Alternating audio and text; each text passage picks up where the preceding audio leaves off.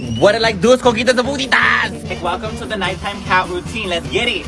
So there's like 40 keys out here. So like we do five big trays of kibble of like that good good from Costco. Table seven, we have your order.